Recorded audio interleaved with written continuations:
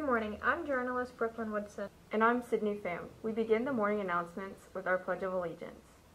I pledge allegiance to the flag of the United States of America and to the republic for which it stands, one nation, under God, indivisible, with liberty and justice for all.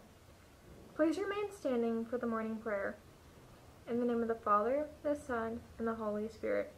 O Jesus, through the Immaculate Heart of Mary, I offer you my prayers, works, joys, and sufferings of this day for all the intentions of your Sacred Heart, in union with the holy sacrifice of the Mass throughout the world for the salvation of souls, the reparation of sins, and the reunion of all Christians, and in particular for the intentions of the Holy Father this month.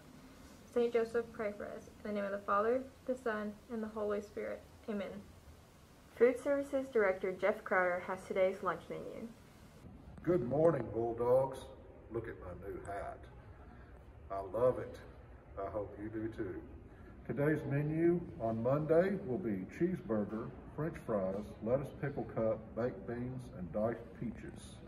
Well, happy Monday, everybody. Uh, I just want to encourage y'all uh, with a little Monday motivation. I know it's hard to uh, get started on a Monday, and especially uh, this being the last semester of the school year, uh, it, we may find uh, it's kind of hard to keep going and going strong. And so I encourage, especially the seniors, finish strong. Finish strong, keep going.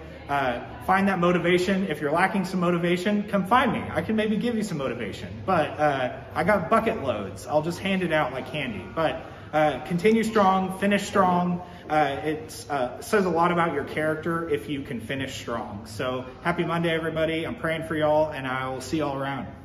Coach Brent Bruick has sports news. Good morning, Bulldog Nation. It's Monday, January the 24th. What we got on tap for sports tonight is we have home junior high and seventh grade games against Atkins Red Devils starting at 5 p.m.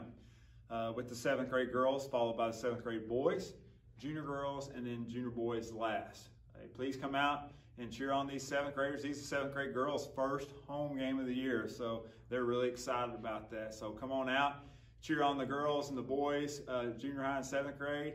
Uh, help cheer them on to a victory, show them some support, take care, and as always, Go Bulldogs.